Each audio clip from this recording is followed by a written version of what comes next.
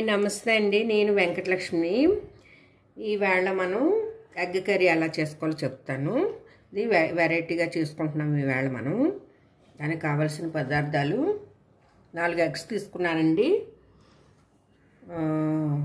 వెల్లుల్లి ముక్కలు. వెల్లుల్లిపై సన్నగా తరిగిన ముక్కలు పెట్టుకున్నాను.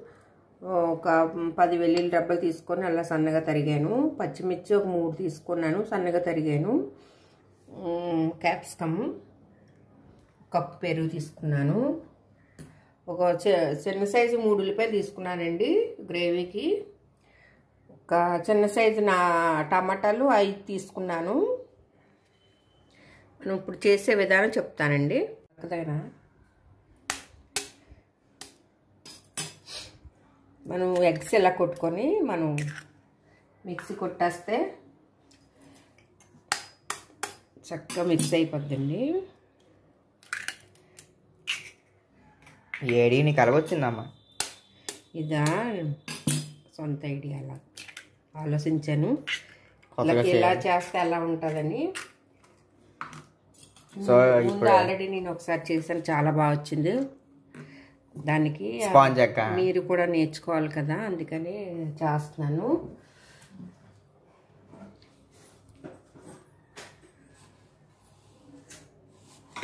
మరి గుడ్డు పగిలిపోయింది? ఆ- ఆ లేవు. ఒక స్పూను శనగపిండి వేసుకోవాలండి.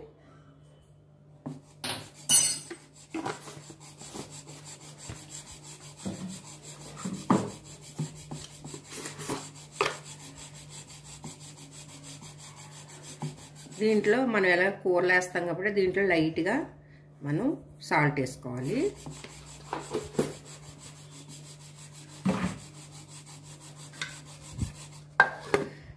మనం మిక్సీ పెట్టి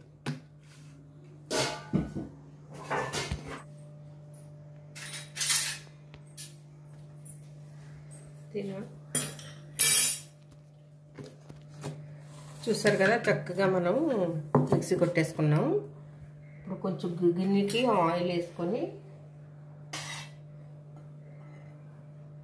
లైట్గా ఆయిల్ రాద్దామండి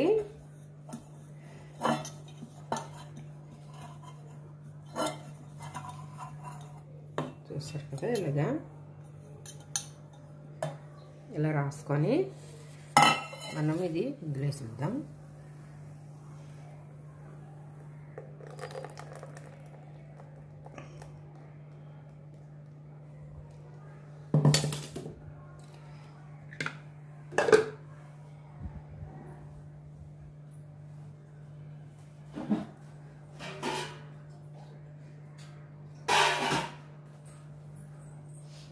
వేసిద్దాం అండి ఇలాంటి కుక్కర్ గిన్నె ఉంటుంది కదా కుక్కర్ గిన్నె లేకపోయినా మీరు ఇడ్లీ పాత్రలో కూడా పెట్టుకోవచ్చు. ఇడ్లీ పాత్రలో మామూలుగా గిన్నెలో పెట్టి జున్ను పెడతాం కదండి ఆ టైప్ పెట్టేసుకోవచ్చు. నాకంటే గిన్నె ఉంది కాబట్టి మీకు కూడా ఉంటే పెట్టుకోవచ్చు కదా. కొంచెం వాటర్ వేస్తానండి కింద. పైకి మనం ఇలా పెట్టేసుకుందాం. చూస్తారు కదా మనం ఇలా పైన పెట్టేసుకొని పైన మూత పెట్టేసుకుంటే ఉడికిపోద్ది.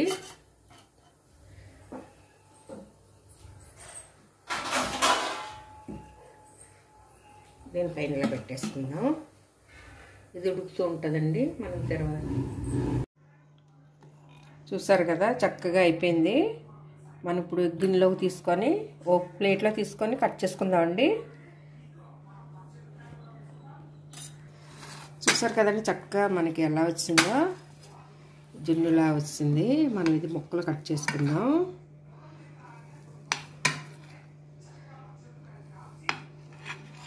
మా నువ్వు దీనికి వచ్చేస్తాను తలకొని తెలుసా? కేక్ వచ్చేస్తున్నట్టుంది అవును.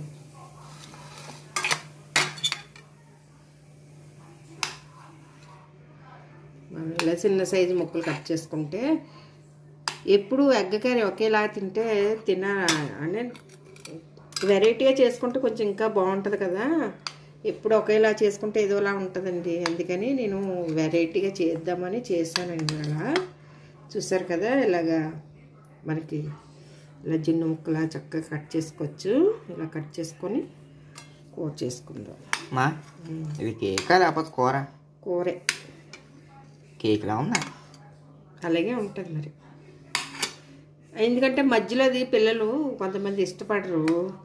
మనం ఇలా చేసుకుంటే చక్క అంతా పిల్లలు తిన్నట్టు ఉంటుంది. ఏది వేస్ట్ అవ్వకుండా చక్కగా మనం కూర అండి. అయిపోయింది కట్ చేసుకున్నాం కదా. స్టవ్ వెలిగించుకుందాం. మామూలు పెట్టుకుందాం అండి. మనం రెండు స్పూన్లు ఆయిల్ వేసుకుందాం ఇది చిన్నదే కదా. ఇది ఇప్పుడు కొంచెం పెద్ద సైజ్ కదా గరిట.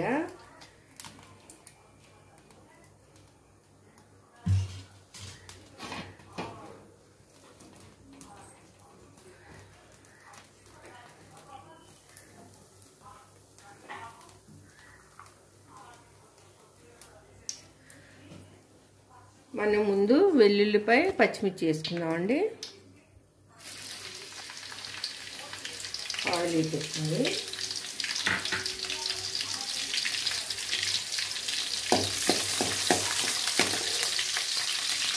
ఇప్పుడు ఉల్లిపాయ వేసుకుందాం.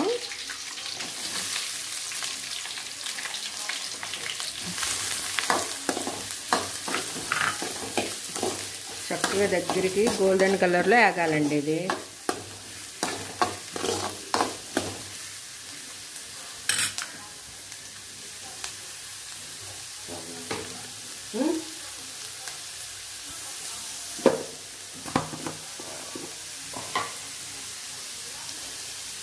మనం కొంచెం ఒక స్పూను సాల్ట్ వేసుకుందాం. త్వరగా ఎగుద్దండి. బాగుంటుంది కూడా చక్కగా.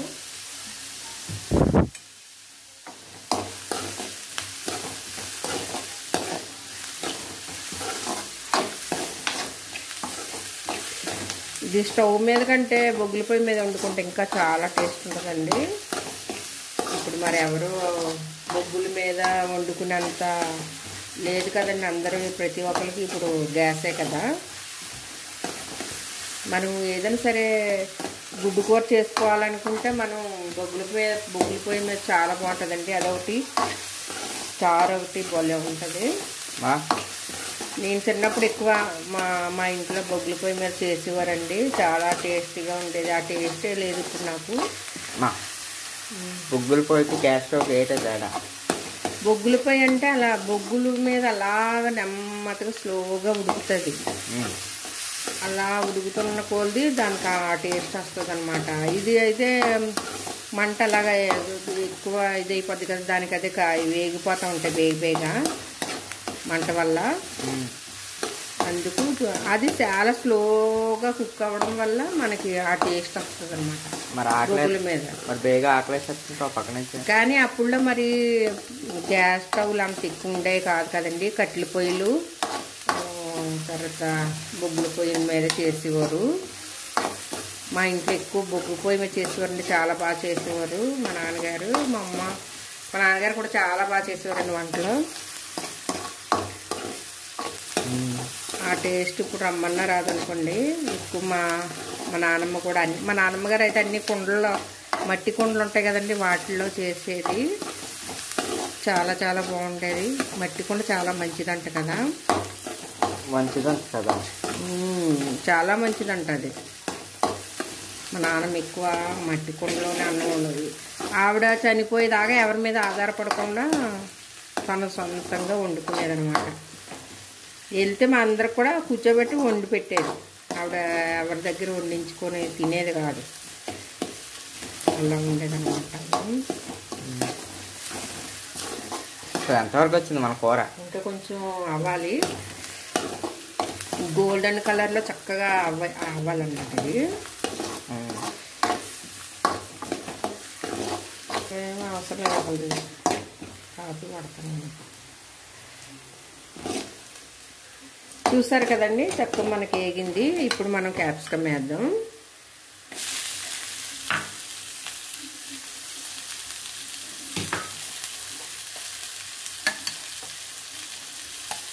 ఒక స్పూన్ అల్లం వేస్తున్నానండి అల్లం వెల్లుల్లి పేస్టు.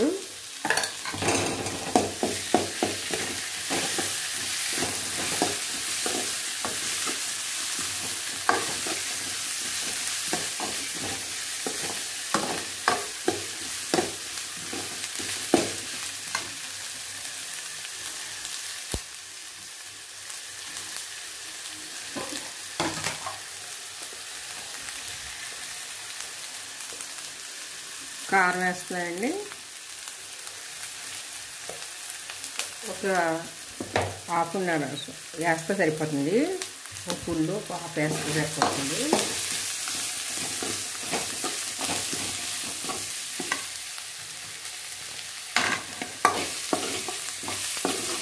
మన క్యాప్సికమ్ ఎక్కువ వేపక్కర్లేదండి చక్కగా చిన్న వేడికి కుక్ అయిపోద్ది కాబట్టి మనకు ప్రాబ్లం ఉండదు. కొంచెం ఎక్కువ వేసాక మా కారం లేదు సరే సరే సరిపోతా వేసే మనం టమాటా చూస్తారు కదా టమాటా మనం ఇలాగా గ్రైండ్ చేసి పెట్టుకుందాం పెట్టుకోవాలండి. మిక్సీ మిక్సీ పెట్టుకున్నాను. చాలా టేస్టీగా ఉంటుందండి. మీరు మాత్రం ట్రై చేసి ఎలాగైనా చూడాలి.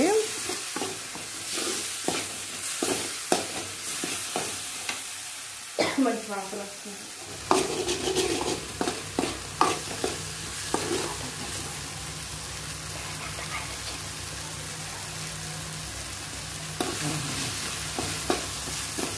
ఏమర్థమైందా మనకు ఫ్యాన్ వేయలేదు కదా దానివల్ల మనకు అలా అనిపిస్తుంది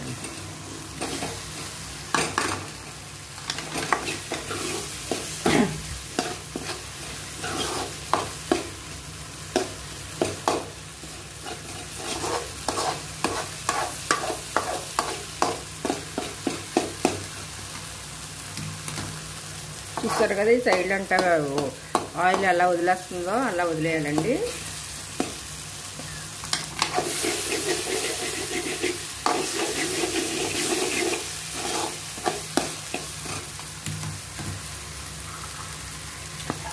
మనం ఇప్పుడు ఈ ముక్కలు వేసుకుందాం అండి ఎగ్ ముక్కలు.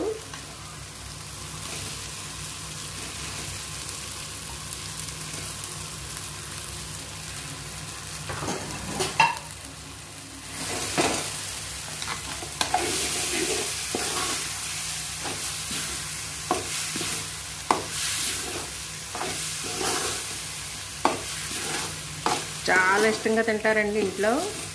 ఇలా పెడితే కొంచెం శ్రమని చూసుకోకుండా చక్కగా మనం పిల్లలకి పెద్దలకి అందరికీ నచ్చుతుందండి ఇలా చేస్తే.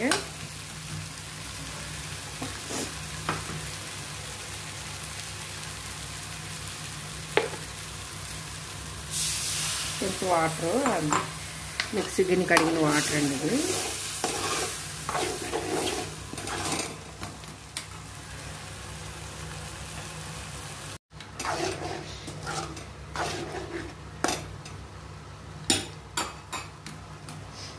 మనం ఇప్పుడు కొంచెం పెరిగేసుకుందాం అండి.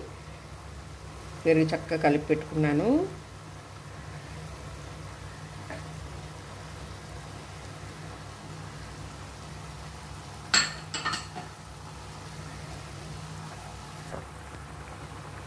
చూసారు కదండి మనం కొంచెం బటర్ వేసుకుందాం పైన.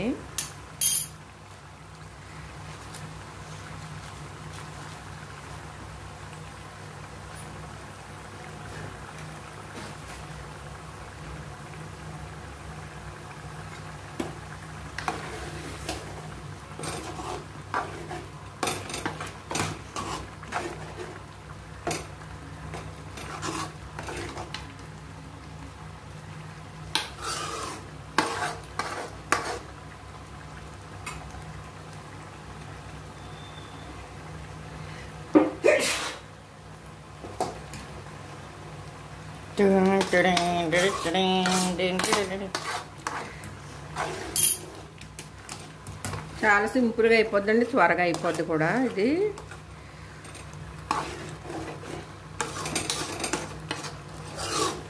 మనకి ఎక్కడ ఎగ్గు నీశ్వాసన అలాంటి చక్కగా రాకుండా చక్కగా పన్నీర్ కర్రీ లాగా మనకి బాగుంటుంది. చూసారు కదా ముక్కలు ఎలా ఉన్నాయో?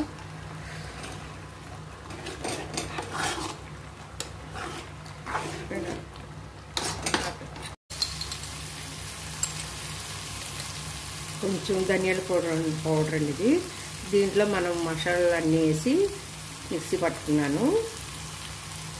మన కూరల్లోని వాటిలో వేసుకుని బాగుంటుందండి ఇది. చూస్తారు కదా?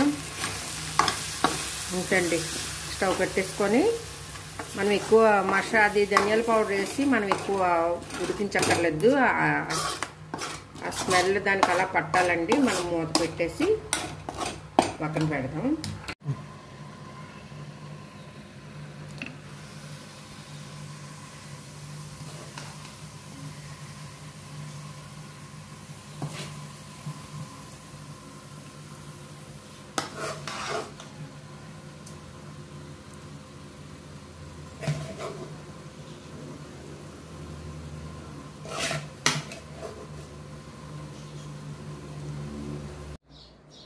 చూసారు కదండి పన్నీర్ కర్రీ ఎంత బాగుందో పన్నీర్?